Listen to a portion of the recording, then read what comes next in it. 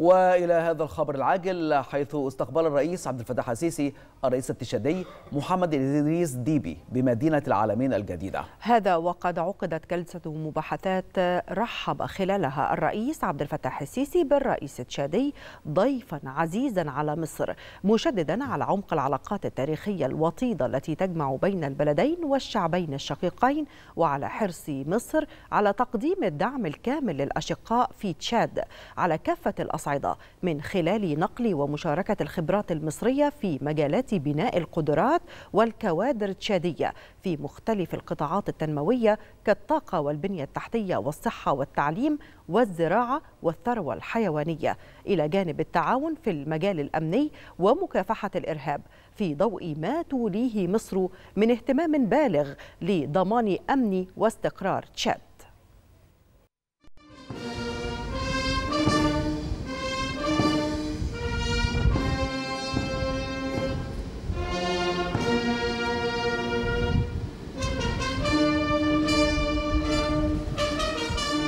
استقبل السيد الرئيس عبد الفتاح السيسي بمدينة العالمين الجديدة الرئيس محمد إدريس ديبي رئيس جمهورية تشاد.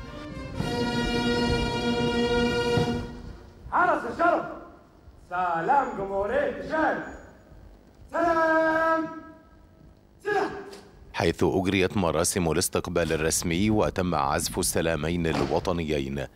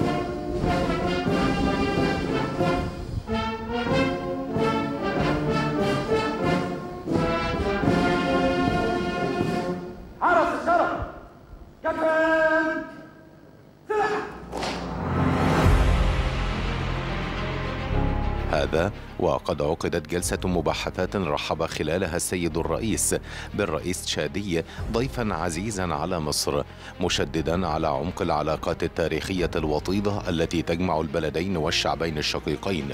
ومن جانبه أشاد الرئيس محمد إدريس ديبي بالعلاقات الوثيقة والممتدة بين البلدين.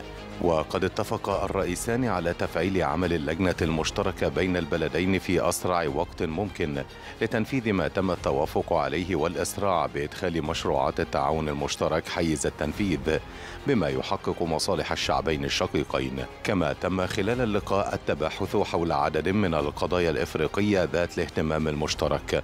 وعلى رأسها التطورات الجارية في السودان والأمن في منطقة الساحل الإفريقي وتعزيز التنسيق بشأن دور تجمع الساحل والصحراء. كما تم تأكيد دعم البلدين لكافة جهود تحقيق الاستقرار في ليبيا الشقيقة وتعزيز الأمن في منطقة الساحل في مواجهة التهديدات الإرهابية المستمرة.